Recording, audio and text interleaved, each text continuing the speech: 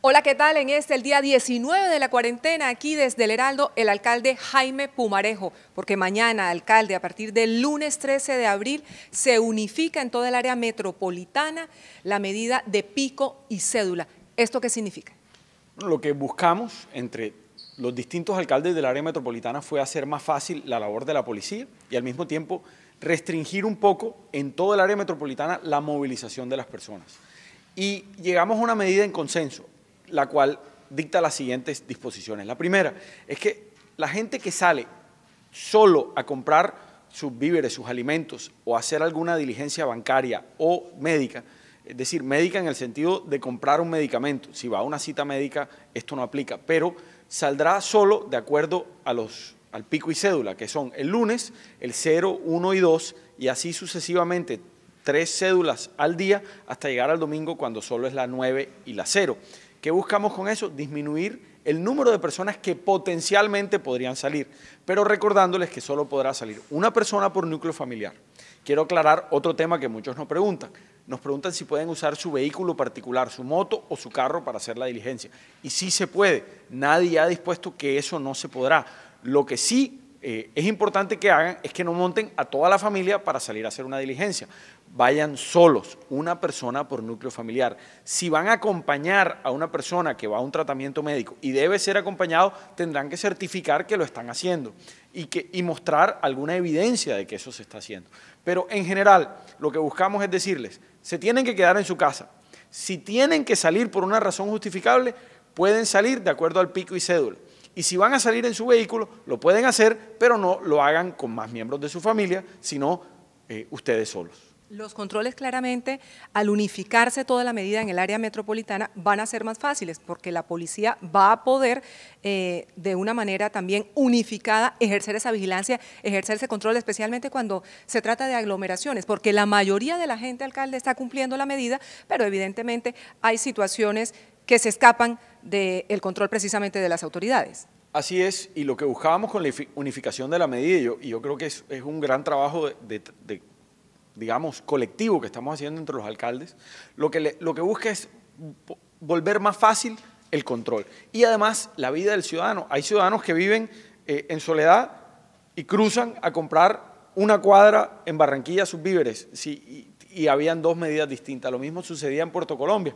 Muchos ciudadanos viven en Puerto Colombia y cruzan a trabajar a Barranquilla el día a día. Eh, nos quedan retos, claro que sí, eh, y hacer un llamado. Si tienes que salir y no vas a poder guardar la distancia, usa el tapaboca, lávate las manos frecuentemente. Si te vas a montar en el transporte público, nosotros podemos poner un, policía en cada una de las estaciones, pero depende más de ti y de la autocontrol y de la autogestión. Si ves que un bus está muy congestionado, espera un rato y te montas en el próximo. Nosotros no podemos hacerlo todo con medidas represivas y con policías, porque necesitaríamos un policía en cada esquina de la ciudad. Lo que nosotros necesitamos es que entendamos los barranquilleros y los colombianos que entre todos tenemos una responsabilidad colectiva de cuidarnos nosotros mismos para cuidar a la sociedad. Claro, generar conciencia frente a ese particular. ¿Qué pasa a día de hoy con el tema de las ayudas. Las ayudas alimentarias, se presentaron unas aglomeraciones, por cierto, en el Estadio Metropolitano, no se están realizando más ese tipo de entregas y nuevamente se acude a la figura de casa a casa. Eso será a partir de este lunes también, alcalde. Si nosotros estamos entregando lo que llamamos un auxilio alimentario, el cual busca ser un complemento y una ayuda para que el confinamiento sea, por decirlo de alguna manera, eh, o afecte lo menor, posible a las familias barranquilleras más vulnerables. Esa ayuda, que consiste de un complemento alimentario, la hemos entregado a los barrios más vulnerables de Barranquilla, a casi 150 mil familias en la primera entrega, y ahora empezábamos a entregar a quien se había inscrito por nuestra página web y a esas personas en esos barrios vulnerables por segunda vez. Hicimos una metodología donde las personas se les da una cita en una hora y en un lugar específico pero desafortunadamente hemos visto que la dinámica de la ciudad no va a permitir que esas citas se cumplan, porque llegaba gente a deshoras o gente que no había sido citada. Por eso que cancelamos esa metodología y volvemos simplemente al casa a casa. Las personas que no están dentro de los barrios vulnerables priorizados, los estaremos contactando durante estos días mediante el call center a decirles cómo le vamos a hacer entrega de su ayuda para que tampoco tengamos que entregárselos en un centro de distribución. Entonces, la gente que ya recibió su ayuda la última semana, semana y media, va a recibir ahora la segunda entrega.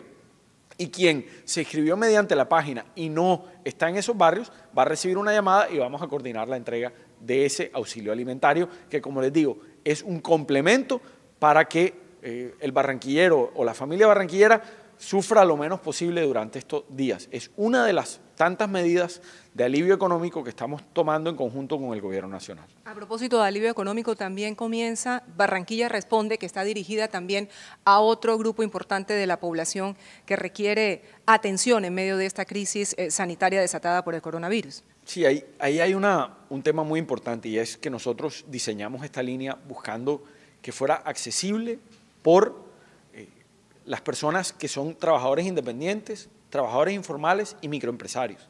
La mitad de la línea, eh, la línea va a ser de 100 mil, pero el primer tramo es de 60 mil. La mitad de esos 60 mil, es decir, 30 mil millones, son dispuestos solo para microempresarios, trabajadores independientes. ¿Eso qué quiere decir? Que no importa si están, digamos, si no, si no están en la Cámara de Comercio. No importa si por alguna razón menor están identificados en data crédito o reportados en data crédito.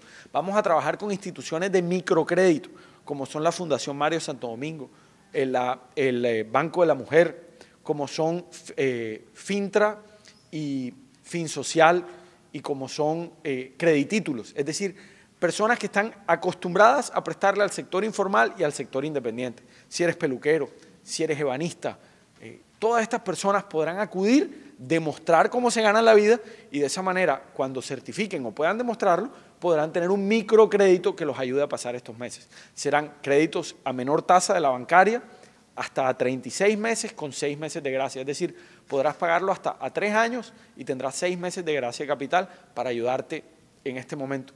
Y yo quiero recordar, eh, cuando estábamos entregando los mercados casa a casa, Erika, en el ferry, eh, que muchos nos preguntan por qué casa a casa y por qué no se les manda la plata. Es porque la debilidad de, las bases de datos ha demostrado que encontrar a las personas más vulnerables, identificarlas es a veces difícil porque ellos no tienen la capacidad de salir e identificarse, eh, de inscribirse en un programa. Cuando le llegamos casa a casa a los barrios más vulnerables, estamos asegurándonos de que ahí llegó la ayuda efectivamente a esa casa. Y ahí, a veces en una casa salen tres, cuatro y hasta cinco familias. En ese barrio del Ferry yo me encontré con un, vecino donde le entregábamos a él y a su esposa y a su hijo el mercado y él un ebanista. Y, él me, y le pregunté, ¿estás brazos caídos? ¿No estás trabajando en estos días? Y él me dijo, no, yo estoy trabajando más que nunca. No estoy vendiendo, pero me estoy preparando porque cuando salga de aquí voy a tener muchas cosas que vender. Entonces, ese espíritu a mí me llenó de ilusión de que alguien en unas condiciones adversas, que estaba esperando un auxilio alimentario y que lo recibió, eh, no, estaba, no estaba dándose por vencido, sino que al revés, estaba usando su tiempo y su, y su, y su arte para producir más y sabiendo que cuando saliera iba a tener un inventario que vender. A esa persona le tenemos que llegar con ese auxilio, con, esa, con, ese, con ese crédito de Barranquilla Responda para que él pueda comprar más implementos, para que él pueda pagar y vivir dignamente y que cuando salga tenga toda la capacidad de salir a vender. A él y a esa gente que no baja su ánimo y sus ganas de salir adelante es a las que le tenemos que dar ese auxilio. Porque eso también pasará, alcalde, y eso todos estamos convencidos que así, así va a ser. Un punto clave, usted habla de muchos sectores y hay uno en especial que hay que rodear en este momento de crisis porque está justamente ese sector, el de los profesionales de la salud en la primera línea de atención. ¿Qué se está haciendo por ellos? Desafortunadamente hemos visto que ya están muriendo los primeros médicos en el país. ¿Cómo se está atendiendo y rodeando al personal sanitario en la ciudad de Barranquilla. Se le está dotando de eh, equipos de bioseguridad, de protección, para que puedan ellos a su vez prestar esa labor tan importante.